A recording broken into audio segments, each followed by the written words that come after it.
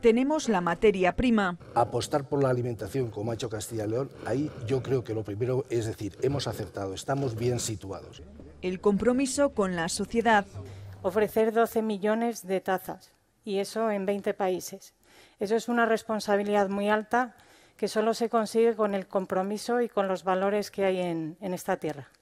La economía de Castilla y León tiene importantes fortalezas como su bajo nivel de endeudamiento. Una gran oportunidad de desarrollo. Tiene una deuda mucho más baja que el resto de, la, de, la, de España, ¿no? Y eso es una gran capacidad de, de apalancarse, de endeudarse y de, y de asumir proyectos.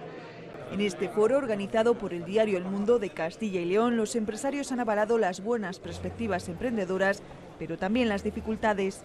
Tiene gente con recursos para emprender, porque somos cabezones y los proyectos los tenemos muy claros.